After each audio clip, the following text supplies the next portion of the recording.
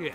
Carl, Carl, Carl, Carl, Carl, dude, we slept in again. The song's about to start. Shit, Frank! We can't miss the song. Barry, wake up! Uh, what? I'm up. I'm up. This song is such an awesome way to start every morning. It's just a super nice way of showing the gods how much we appreciate everything they'll do for us once they take us out those doors to the great beyond. God, I love them so fucking much. Oh shit, oh shit, Corn's about to start singing. Drop it, Corn. You got the best voice. You're the man, Corn! You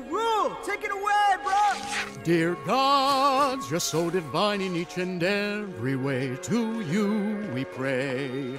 Dear gods, we pledge our love to you forevermore.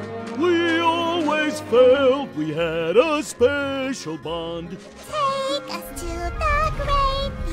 Where we're sure nothing bad happens to Once we're out the sliding doors, things will all be grand. We will live our dreams together in the promised land. The gods control our fate, so we all know we're in good hands. We're super sure there's nothing shitty waiting for us in the great beyond.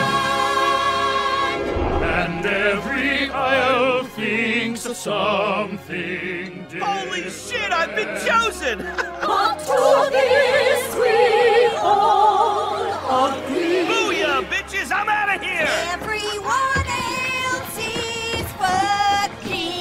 stupid, except for those who think like me.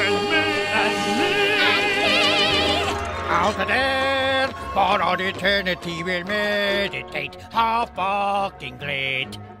Out there, we'll get to teabag every day and more. We'll shove the Mentos up our ass by Zeus.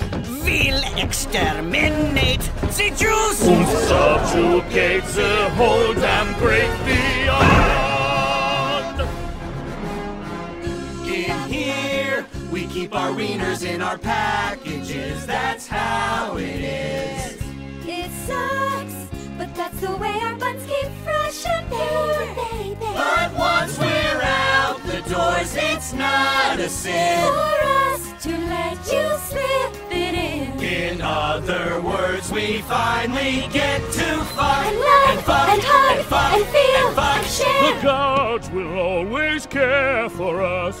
They won't squeeze us out their butts. We cannot overstate how confident we are that our beliefs are accurate and nothing awful happens to us